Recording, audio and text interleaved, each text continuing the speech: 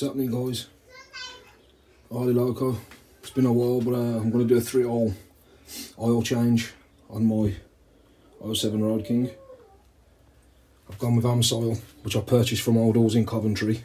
That's Old Halls in Coventry. Uh, I'm about 40 miles away so I chose next day delivery which cost me 120, I think it was about 120 pound all in. Uh, that's just for the oils.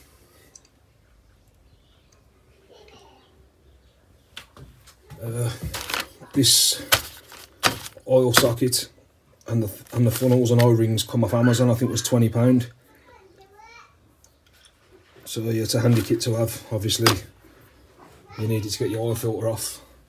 And obviously, I've got a chrome oil filter that was purchased from Hog Parts in Cannock. So we'll get into it. So as we're removing the drain plug for the engine oil, obviously I'm going from the left side of the bike underneath the primary quarter inch socket and the first drain plug as you can see there. The next one too is for the transmission but for the engine oil we're working with the first one.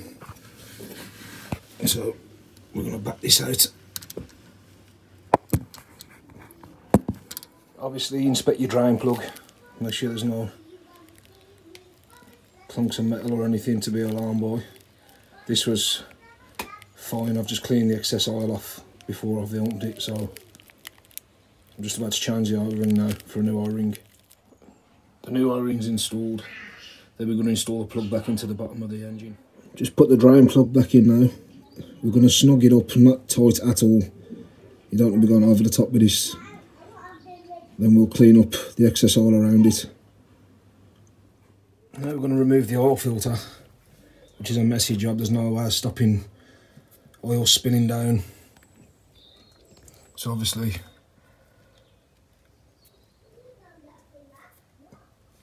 as many paper towels or whatever you can use as possible, just to try and help you with a mess.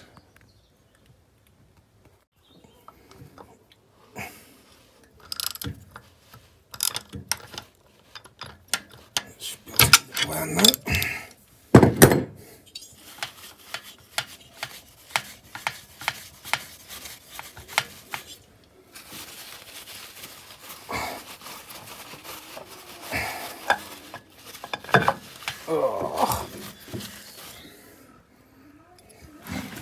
So there's the old one.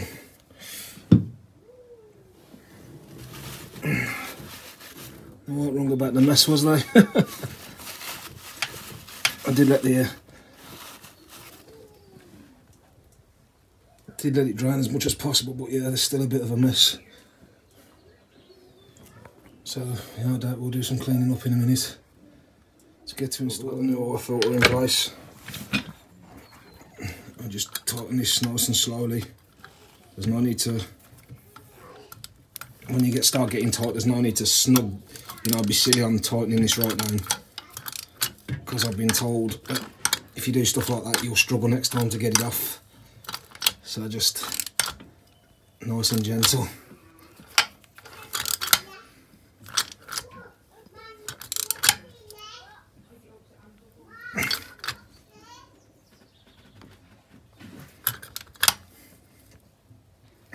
There we, there we go. We've checked our drying plug and everything's back in. Now we go around to add the oil. I'm putting 3.5 litres in. Uh, then obviously going to run the bike. Check it when it's up to temperature, then adjust accordingly. One US quart, 946 millilitres.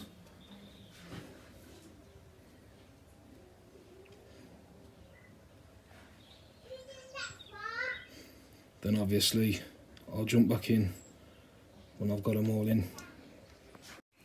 So three litres I've gone in so far. Just about to add half a litre out of this.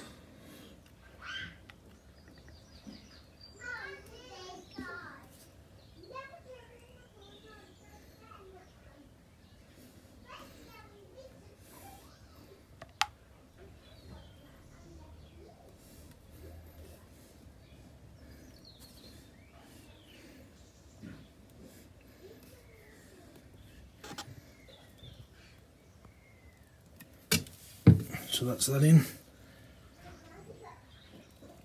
And that's the engine oil changed. We'll right this we're on to the transmission oil. Um, there's the filler cap here, so we're gonna crack this off, loosen this. We're gonna just screw it out and leave it in there, just so it lets the transmission fluid flow quicker when we undo the drain plug underneath.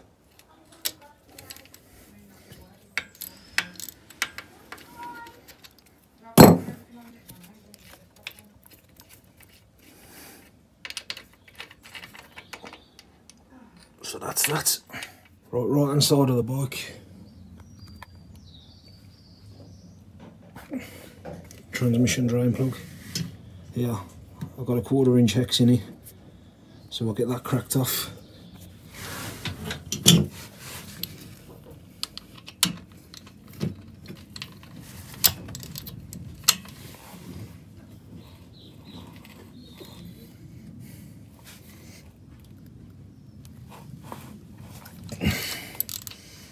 Nice and steady.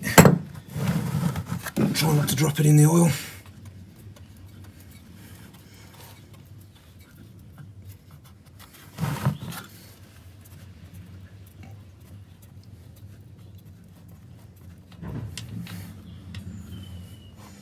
There we go, let that dry. Same practice again, change the O-ring, clean the plug.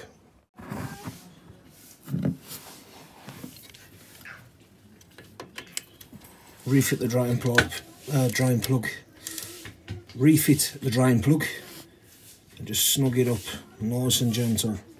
You haven't got to go stupid. So the transmission calls for uh, basically a, a US quart, 950 mil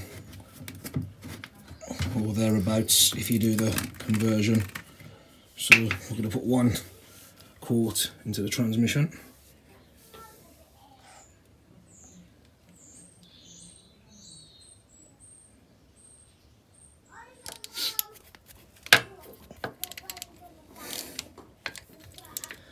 Nice and steady, nothing too stupid, and that's that. Now I'm going to do a primary change, so um, I'm going to be changing my primary, the outer gasket as well the primary cover gasket but I'll cut the video so it just shows me doing the oil change. So as always we're gonna nice and steady crack the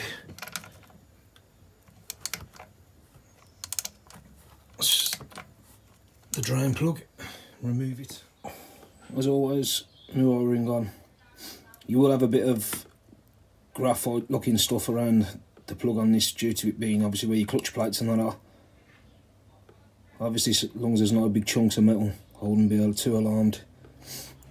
That's all drained. So I'll get back into it for you when um, I'm refilling. Right guys, I'm back with you. Uh, I'm going to fill this primary up now. Because I took the primary case off because I wanted to check something. And I put a new primary cover gasket on. I've got to put 45 ounces in this uh, primary. Works out to about 1,320 millilitres I've got to put in. So,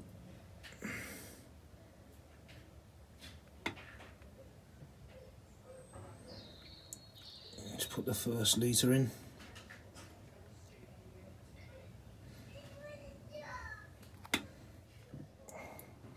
And that's it guys, just to button everything back up so that's it guys. Um, put the derby cover back on now. Torque them up to 108 inch pounds in the star pattern. And yeah job done